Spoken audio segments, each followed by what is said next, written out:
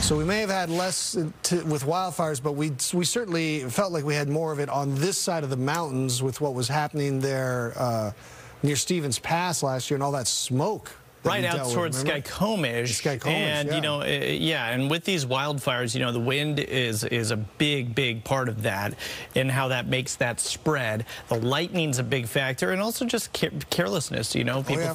throwing cigarettes out of cars, or people, uh, you know, not uh, uh, dampening campfires and stuff like that the way that they're supposed to. So be careful out there, everybody, as we get toward wildfire season.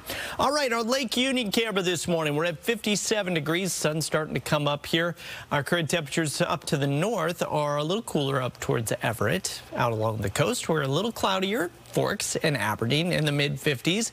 And for our friends on the east side of the Cascades, much cooler than we were around this time yesterday. If you remember Yakima, this uh, this time yesterday was uh, close to 70 degrees.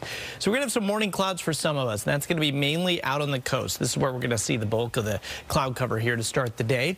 But inland, most of us starting off with just a few high clouds. I'm going to call it mostly sunny today. Snoqualmie Pass even warm in the mid 70s. Wenatchee, you're going to get close to 90 degrees.